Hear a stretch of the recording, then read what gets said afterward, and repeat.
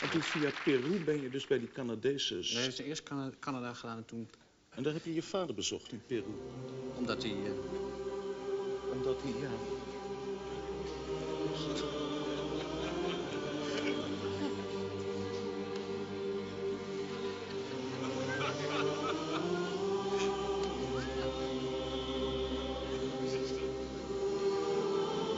Die late namiddag stond de zon laag boven de laatste uitlopers van de Nevada Desert. Weken was ik onderweg geweest. Ik besloot de eerste de beste saloon van Doggone City binnen te stappen. Ik keek in het rond. Er was niet veel volk. Op een cowboy na en zijn liefje was er niemand in de saloon. Ze keken me vreemd aan. Ik wist dat zij wisten dat ik een vreemdeling was. Zoals honden ruiken dat het onweer komt. Opeens stond de cowboy op en maakte zich uit de voeten. Waarom? Had hij mijn wanted poster gezien? De vrouw bleef echter aan tafel zitten.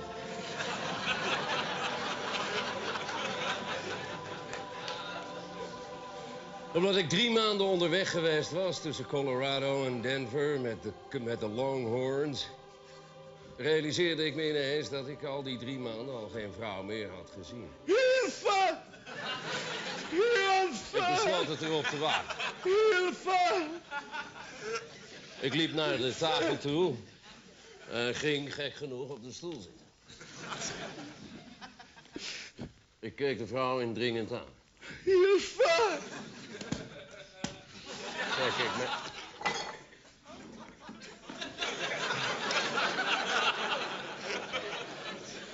Iets heel anders, cowboy. Is dat leuk? Ehm, Ja, tekst, tekst. Is cowboy, is dat leuk? ik, eh, Ja? ik kwam in een benarde positie. zou ook- Als ik, als ik direct zou antwoorden, zou ik ruzie krijgen met mijn voice-over. Ja, dat snap ik, ja. Ehm, ik vind zo puberaal. eh, cowboy, met u nog acteur ook. Ehm Indiaan zou je toch zeggen, iets intelligenter. Tekst. Het was een eh, mooie dag in Colorado. Ja, en dat vind ik dan Die- altijd bij acteurs, dan praten ze er zo overheen. Is dat moeilijk, die blokkade op te heffen? Ik weet niet, ik ben geen acteur, ik ben geen psycholoog. Ah ja, Mo- moeilijk. Het is, het, is wel, het is wel gewoon leuk, leuk om een eh, cowboy eh, te doen.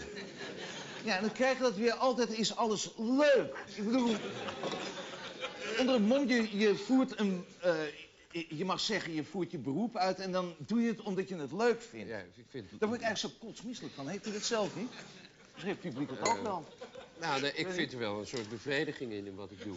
Bevrediging is ook weer zo'n woord. Ik weet niet... eh, Ik had ook Indiaan kunnen ja, doen. precies, en daar wil ik een beetje naartoe eigenlijk. En, en dan kies je bewust voor een, eh, een cowboy. Ja.